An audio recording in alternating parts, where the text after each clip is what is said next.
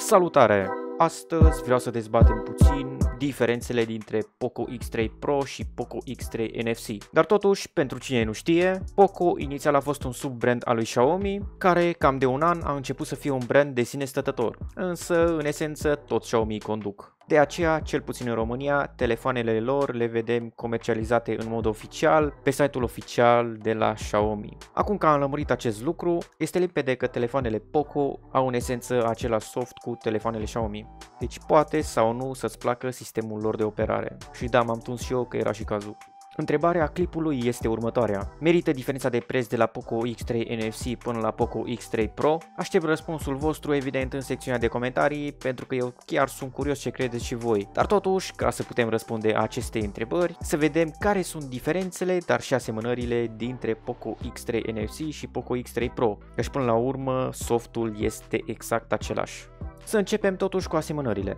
Odată avem exact aceleași dimensiuni și exact aceeași masă. A doua asemănare avem exact aceeași baterie, dar și exact aceeași viteză de încărcare. Avem aceleași porturi și conexiuni, cel puțin în mare, deoarece după cum putem observa pe Poco X3 NFC avem Bluetooth 5.1, diferență ce probabil nici măcar nu o să o conștientizăm. Avem exact aceleași senzori de amprente pe amândouă, ce să mai, designul este practic identic. 5. Avem exact același ecran, unul IPS de 6,67 inch cu 120 de Hz refresh rate și 240 de Hz rată de citire a atingerilor, cu aceeași certificare HDR10 și aceeași luminozitate de 450 de niți. 6, altele cum ar fi rezistența IP53, același sertar pentru simuri și aceleași difuzoare stereo și evident ambele au jack de căști.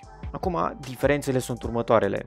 Odată avem diferențe de nuanțe ale spatelor acestor telefoane. 2. Probabil cea mai evidentă diferență și pe care probabil cam toți o cunosc. Procesorul care pe Poco X3 Pro este unul mult mai puternic, adică Snapdragon 860 versus Snapdragon 732G. De exemplu, la Poco X3 NFC nu mi-a plăcut faptul că era marketat ca fiind de gaming, însă avem telefoane mai ieftine cu aceeași performanță în gaming, de exemplu Realme 6S sau telefoane cam de același preț care oferă o performanță, o idee mai bună în gaming, de exemplu Redmi Note 8 Pro. Iar Poco X3 Pro pare să fie și mi-e greu să cred că nu este așa, în sfârșit un telefon foarte bun la gaming, într-un buget relativ mic.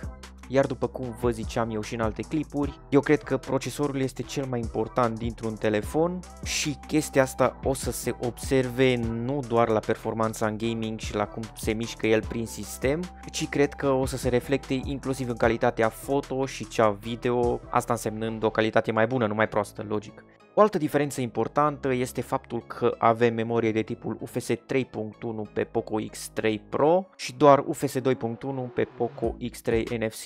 Sticla de pe varianta Pro este Gorilla Glass 6, iar de pe X3 NFC este Gorilla Glass 5. Acum urmează cumva partea puțin dubioasă, mai exact camerele. Pe varianta Pro avem un ansamblu de camere format dintr-o principală de 48 de megapixel wide, cu f1.8 apertura și o cameră ultra-wide de 8 megapixel f2.2, în timp ce pe varianta NFC avem un ansamblu de camere format dintr-o cameră principală de 64 de megapixeli wide f1.9, dar și cu un senzor fizic mai mare de 1 pe 1,73 de inch, în combinație cu un ultra-wide de 13 megapixeli, tot f2.2. Deci aici practic la prima vedere s-a făcut un downgrade, însă procesorul mai puternic cred eu că o să compenseze cumva dacă nu chiar o să scoată niște poze mai calitative. Adică hai să ne uităm un pic la OnePlus 7 Pro, OnePlus 7T Pro, OnePlus 8 chiar, care au venit cu același senzor de 48 de megapixeli și scoteau niște poze aproape de nivel de flagship. Nu erau chiar la nivel de flagship, dar nici departe nu erau. O diferență destul de importantă ce probabil mulți nu o să o observe este faptul că varianta Pro începe de la 128 de GB stocare, pe când varianta NFC începe doar de la 64 de GB. Și nu în ultimul rând, prețul. E, prețurile de aici nu se prea aplică și la noi în România, există o diferență mai mare între Poco X3 NFC și varianta X3 Pro la noi în România, căci am observat că acum X3 NFC pornește de la 850 de lei pe Max sau Altex, la varianta de 6 GB RAM cu 64 de GB stocare, pe când X3 Pro pornește de la 1200 de lei pe site-ul lor oficial, probabil o să fie ceva mai ieftin pe EMAG, Altex, PC Garage, etc. Nu știu, nu pot să vă zic cert, însă în primele câteva zile Poco X3 Pro a fost 1100 de lei, deci cu 100 de lei mai ieftin. Acum ce să zic, o diferență de 250 de lei, ba chiar 350 de lei dacă alegi varianta cu 64 de giga, nu sunt puțini bani pentru mulți dintre noi, adică 350 de lei reprezintă fix 50% din bursa mea de student sau undeva la 35-40% din salariul unui job part-time. Foarte mult practic pentru majoritatea oamenilor sau chiar undeva la vreo 15-20% dintr-un salariu minim pe economie. Mă repet, doar această diferență de 350 de lei reprezintă aceste procentaje. Deci foarte mult practic la salariile din România. Acum eu personal consider că merită diferența, cel puțin după acele specificații extra pe care noi le primim sau care ne sunt luate. Hm, da, plusuri și minusuri. Acum eu vreau să știu părerea ta. Merită sau nu?